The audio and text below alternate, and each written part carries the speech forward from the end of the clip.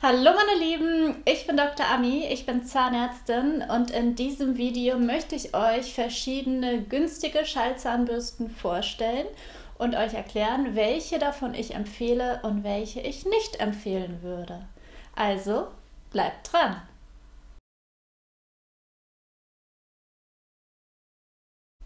Ja, einige von euch hatten mich gefragt, welche günstigen Schallzahnbürsten ich denn empfehlen kann für all diejenigen, die nicht gleich so viel Geld ausgeben wollen und sich nicht die Spitzenmodelle wie zum Beispiel die Curaprox Hydrosonic Auto oder die Philips Sonicare Diamond Clean kaufen wollen und ob ich da mal ein Video drüber machen kann. Und einige hatten mich auch ganz speziell nach der Fairywill Schallzahnbürste gefragt, die ja auf Amazon erstens sehr, sehr günstig ist und zweitens super Bewertungen hat und ja, eigentlich fast schon so ein Bestseller ist.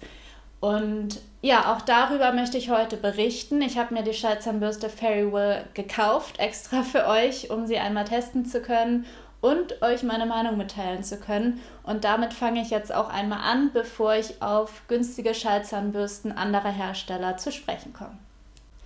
Die Fairywill Schallzahnbürste gibt es auf Amazon und die ist wirklich sehr, sehr günstig. Ich meine, es waren 25 Euro. Ich gucke den genauen Preis nochmal nach und blende ihn euch ein, aber es war wirklich die günstigste Schallzahnbürste, die ich jetzt so im Vergleich habe. Und ihr bekommt dazu ein ja, sehr umfangreiches Paket, also insgesamt vier Bürstenköpfe, zwei mittelharte, einen harten und so einen äh, ja, Solozahnbürstenkopf. Und ihr bekommt insgesamt auch fünf verschiedene Programme, also doch recht umfangreich. Für ein paar Mark mehr gibt es sogar ein Reiseetui dazu. Also ich kann schon verstehen, warum viele von euch da schwach werden und sich dieses Modell kaufen. Ich muss aber vorweg sagen, ich kann euch diese Schallzahnbürste beim besten Willen nicht empfehlen. Im Gegenteil, ich kann euch nur dringend davon abraten, diese Schallzahnbürste zu verwenden. Fangen wir mal an mit den Bürstenköpfen, was ja so ziemlich das Wichtigste bei jeder Zahnbürste ist. Also erstes großes Manko ist, es gibt keine weichen Bürstenköpfe. Korrigiert mich, falls ich da falsch liege. Ich habe jedenfalls keine gefunden. Es gibt nur diese mittelharten und diese gelben, die ganz harten. Und ist egal, also ob die mittelharte oder die harte, die sind so hart, ich würde die auf gar keinen Fall an meine Zähne lassen. Das ist der erste Punkt. Der zweite Punkt ist, dass das Profil nicht das ist, was ich empfehlen kann. Am besten ist immer ein ganz gerades Bürstenprofil, also wo alle Borsten wirklich gleich lang sind. Der Philips Sensitiv Bürstenkopf, der ist auch okay, der vorne so ein bisschen länger ist oder der von Curaprox. Ich habe das alles in den Videos gesagt, warum es in dem Fall okay ist, dass nicht alle Borsten gleich lang sind. Aber das ist exakt das Bürstenprofil, was man nicht verwenden sollte, nämlich wo in der Mitte auch noch so längere Borsten sind und wo das wirklich so eine Welle macht. Also das kann ich euch auf gar keinen Fall empfehlen. Kommen wir dann mal zu dem Single-Bürstenkopf. Von der Idee her, einen Single-Bürstenkopf beizulegen, finde ich das schon mal sehr fortschrittlich. Aber dieser Single-Bürstenkopf ist so extrem spitz. Also das ist ein richtiges Mordinstrument. Zumindest für euer Zahnfleisch. Ich würde das auf gar keinen Fall an meine Zähne und erst recht nicht an mein Zahnfleisch lassen, was man ja nun mal zwangsläufig macht, wenn man den Zahnfleischsaum damit putzen möchte. Und es ist so spitz und scharf, also ich verstehe den Sinn auch nicht dahinter, warum man so eine Spitze darauf gesetzt hat und dann eben in Kombination mit diesen harten Borsten. Auf gar keinen Fall würde ich das verwenden. Und dann möchte ich noch einmal kurz was zu dem Motor sagen, was ja eigentlich so das ja, zweitwichtigste bei der Schallzahnbürste ist, würde ich jetzt mal sagen. Auf jeden Fall auch sehr, sehr wichtig. Der Motor geht sofort in die Knie, also bei der kleinsten Berührung. Ich zeige euch das mal eben. Der, der geht sofort in die Knie, da ist, da ist überhaupt keine Power dahinter. Ich schalte ihn mal eben kurz an. So hört sich das normal an. Und jetzt berühre ich das mal ganz kurz und achtet mal auf den Ton.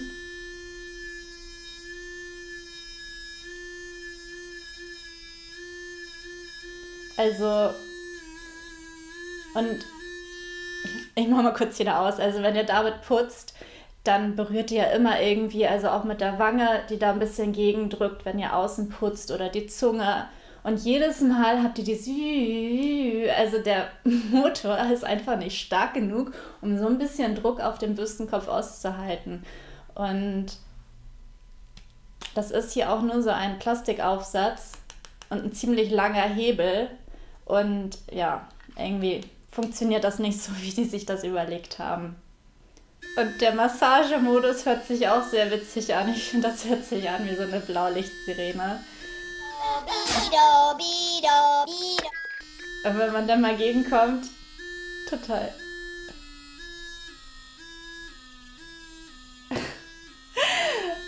Als ob das Blaulicht kaputt ist. Also total witzig. Ich, also in meinen Augen ist das einfach nur ganz, ganz großer Schrott. Ich kann es nicht anders sagen. Ich würde sie auf gar keinen Fall benutzen. Und ich kann es euch beim Messen nicht empfehlen. Im Gegenteil, ich würde euch sagen, benutzt die nicht. Ich rate euch dringend davon ab. Und damit schadet ihr euren Zähnen und eurem Zahnfleisch eher, als dass es irgendwie hilft. Ja, dann stellt sich ja nun die Frage, ob es denn andere günstige Einsteigermodelle an Schallzahnbürsten gibt von anderen Herstellern, die ich empfehlen kann. Ja, gibt es. Und zwar fangen wir einfach mal direkt mit denen an, die ich empfehlen kann. Und das ist tatsächlich Philips Sonicare. Von Philips Sonicare gibt es ja ganz viele verschiedene Modelle und auch die günstigen Modelle kann ich sehr empfehlen. Bisher hätte ich immer gesagt, dass ich die Easy Clean empfehle. Die kostet aktuell 41 Euro auf Amazon, schwingt mit 31.000 Schwingungen pro Minute, hat allerdings nur ein Putzprogramm, das ganz normale Clean-Programm für den täglichen Gebrauch und ein Lithium-Ionen-Akku. Also es ist ein sehr, sehr gutes Modell für Einsteiger, auch nicht zu teuer. Okay, es ist teurer als die Fairywill, aber dafür einfach eine sehr gute Schallzahnbürste. Dennoch würde ich sie heutzutage nicht mehr empfehlen, weil es, also sie ist immer noch gut, aber es gibt mittlerweile eine bessere für nicht allzu viel mehr Geld. Und zwar ist das die Protective Clean 4300. Diese ganze Protective Clean Modellreihe ist verhältnismäßig neu auf dem Markt und damit hat Philips was richtig, richtig Gutes auf den Markt gebracht. Die Protective Clean 4300 schwingt mit 62.000 Schwingungen pro Minute, hat auch nur ein Putzprogramm, aber dafür zwei verschiedene Intensitäten. Also da könnt ihr auch ein bisschen in der Geschwindigkeit variieren. Und ihr bekommt außerdem, was ich sehr, sehr gut finde, einen Drucksensor. Das heißt, wenn ihr zu doll aufdrückt, dann vibriert die Zahnbürste, gebt euch ein Signal, dass ihr zu doll aufdrückt und drosselt auch automatisch die Geschwindigkeit, was ich echt gut finde, weil doch die meisten von euch immer noch zu viel aufdrücken. Und das ist eine super Hilfe, um das ein bisschen zu kontrollieren. Und es ist auch ein Lithium-Ionen-Akku, der reicht zwei Wochen bei normalem Gebrauch. Und das ist, finde ich, ein sehr, sehr gutes Komplettpaket. Die Protective Clean 4300 kostet 56 Euro, ist also gar nicht so viel teurer als die Easy Clean, bietet dafür aber, finde ich, schon erheblich viel mehr. Mehr Schwingungen, Drucksensor, ähm, zwei Geschwindigkeiten. Also das ist, finde ich, schon eine ganze Menge, die man für das bisschen mehr Geld dazu bekommt. Und ihr könnt die Protective Clean auch im Doppelpack kaufen, dann kostet es 90 Euro. Ihr bekommt dann zwei Handstücke, allerdings nur ein Ladegerät. Das heißt, es ist wirklich für einen Haushalt gedacht, wo man sich ein Ladegerät teilen kann. Aber wenn man das dann mal runterrechnet, würde ein Handstück nur noch 45 Euro kosten. Und ich finde, das ist ein super Deal und ihr bekommt eine sehr, sehr gute, hochwertige Schallzahnbürste für den Preis. Und das ist auf jeden Fall mein Favorit, was ich empfehlen würde zu kaufen, wenn ihr ein günstiges Modell sucht für den Anfang, um einfach mal reinzukommen. Ja, und euch mit einer Schallzahnbürste vertraut machen wollt. Die Clean Care Plus ist aktuell die günstigste Schallzahnbürste von Philips. Sie kostet nur 30 Euro, schwingt mit 31.000 Schwingungen pro Minute, was nicht schlecht ist, aber die Protective Clean ist da einfach besser oder auch die neueren Generationen von Philips. Und die Clean Care Plus hat auch einen Nickel-Metallhydrid-Akku und der ist eben nicht so gut wie ein Lithium-Ionen-Akku. Ja, da muss man mehr auf die Akkupflege sozusagen achten, dass man ihn immer gut entlädt und wieder voll belädt und auch die äh, Entladung im Ruhezustand ist einfach bei Lithium-Ionen-Akkus viel geringer als bei diesen Nickel-Metallhydrid-Akkus. Also die Lithium-Ionen-Akkus sind einfach für Schallzahnbürsten doch besser geeignet und werden bei guten Schallzahnbürsten und bei neueren Generationen jetzt eigentlich verbaut. Und diese Nickel-Metallhydrid-Akkus weniger, aber der ist eben immer noch in der Clean Care Plus enthalten. Deswegen würde ich euch das günstigste Modell für 30 Euro, diese Clean Care Plus, auch nicht empfehlen. Dann kommen wir einmal zu dem günstigsten Modell der Schallzahnbürsten von Oral-B. Das ist die Oral-B Pulsonic Slim, kostet aktuell 39 Euro auf Amazon.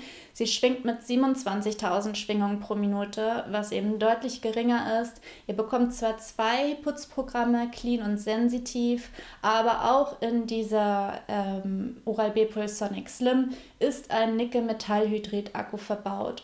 Und das in Kombination mit den geringeren Schwingungen pro Minute, nur 27.000, würde ich es euch auch nicht empfehlen, diese Schallzahnbürste zu kaufen. Generell ist das sehr interessant, wenn man sich mal mit den Vertretern von Oral-B unterhält, die ja, loben diese Genius mit dem kleinen, runden, oszillierenden Kopf, wofür Oral-B ja nun mal steht, immer hoch in den Himmel. Und das ist die tollste Zahnbürste überhaupt und machen Schallzahnbürsten immer richtig schlecht. Und dann habe ich mir gefragt, ja, aber ihr habt doch auch Schallzahnbürsten im Sortiment. Und dann war die Antwort, ja, um die Marktlücke zu füllen.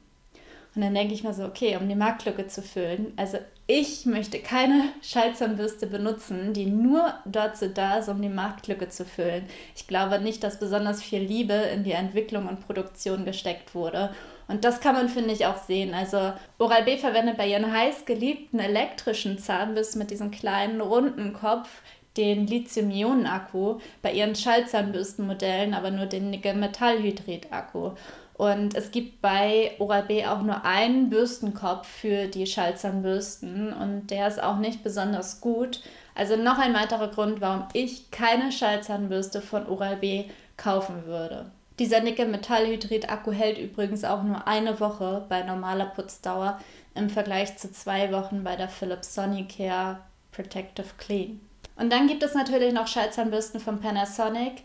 Gehen wir mal nur auf das günstigste Modell an, denn darum geht es ja in diesem Video. Das ist die Panasonic EW 1031. Die kostet aktuell 39 Euro auf Amazon. Und die schwingt aber nur mit 26.000 Schwingungen pro Minute, hat auch nur ein Putzprogramm und auch der Akku reicht leider nur für 40 Minuten, womit man ungefähr sieben bis zehn Tage hinkommt, also auch nicht besonders lang. Und auch dort würde ich euch dieses günstige Modell EW 1031 von Panasonic nicht empfehlen. Also nochmal ganz kurz das Fazit. Die günstige Schaltzahnbürste, die ich kaufen würde, wenn ich eine günstige haben wollen würde, wäre die Protective Clean 4300 und die bietet für mich einfach das beste Preis-Leistungs-Verhältnis. Ihr bekommt einfach ja eine sehr, sehr gute, wertige, langlebige Schallzahnbürste für ein doch schmales Portemonnaie. Nicht ganz so günstig wie die allergünstigsten Modelle, aber ich finde immer noch günstig genug, dass man das schon investieren kann in seine Zahngesundheit. Ja, dann hoffe ich, dass euch das Video gefallen hat und dass ich euch helfen konnte. Wenn ja, gebt mir bitte einen Daumen hoch. Ich würde mich super doll darüber freuen. Abonniert meinen Kanal, falls ihr das noch nicht gemacht habt. Und drückt auch auf die Glocke unten, dann werdet ihr immer benachrichtigt, wenn neue Videos von mir veröffentlicht werden. Und schreibt mir doch mal bitte in die Kommentare erstens, wie euch das Video gefällt, ob es euch geholfen hat. Das ist mir immer ganz, ganz wichtig, dass ich einen Mehrwert biete mit meinen Videos, dass ich jemandem helfen kann damit. Darum mache ich das Ganze letztendlich. Und ja, schreibt mir doch auch mal gerne, welche Schallzahnbürste ihr verwendet oder welche Zahnbürste allgemein, wie ihr putzt. Das würde mich auch super interessieren und dann kann ich darauf vielleicht auch noch ein bisschen näher drauf eingehen. Und wenn ihr Fragen habt, nur zu, schreibt mir alles in die Kommentare. Ich beantworte gerne jede Frage und mache auch gerne immer Videos über die Themen, die ihr anfragt. Und ja, dann sehen wir uns auf jeden Fall im nächsten Video wieder. Bis dann. Ciao.